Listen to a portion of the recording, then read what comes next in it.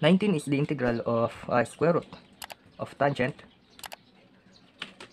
3x multiplied by uh, secant squared 3x dx.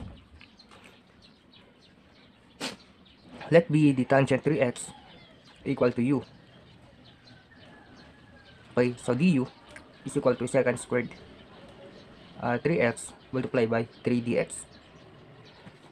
So, so the neutralizing factor is equal to negative, I mean positive 1 over 3.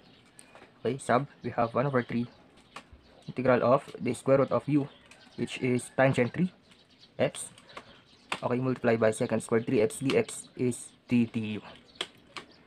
So, we have 1 over 3 multiplied by the integral of u raised to 1 over 2 is u raised to 3 over 2 over 3 over 2 plus the constant substitute the value of u. We have 2 over 9 multiplied by u raised to 3 over 2 or tangent raised to 3 over 2 3x plus the constant. Ito na ang sagot sa number 19